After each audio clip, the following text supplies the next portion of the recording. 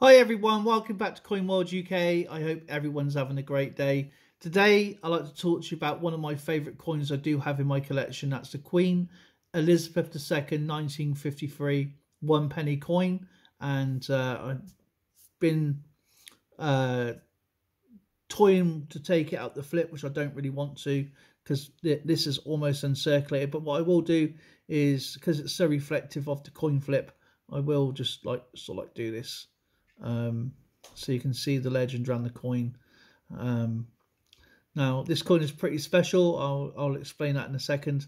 Um, but you can see the obverse side of the coin, and this is designed by Mary Gillick.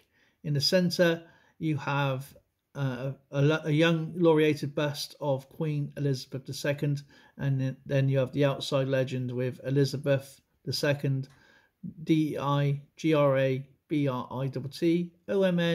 And then Regina, and then F D at the top.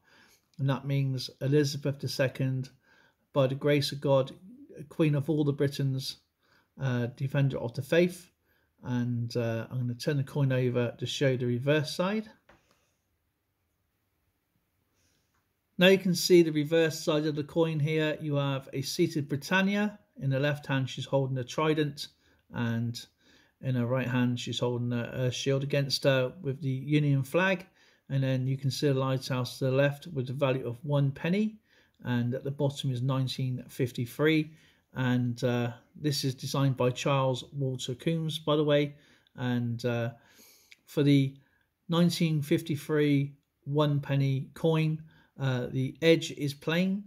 Uh, the weight of the coin is 9.4 grams. The diameter is 30.8 millimeters the composition is bronze.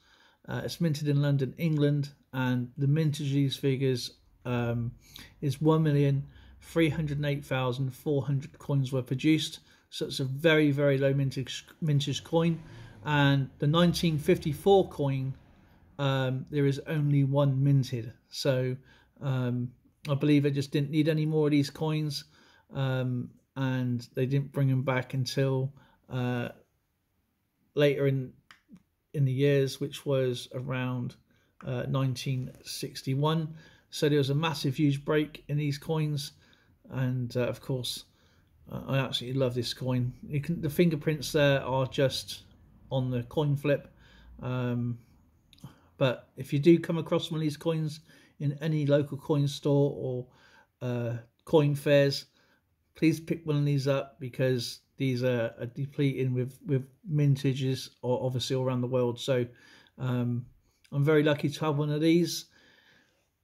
Whatever you're up to uh, please be safe and well. I will leave all the information in the description below. I'd like to say thank you so much for watching my coin videos and uh, to everybody who's followed my journey right from the very beginning.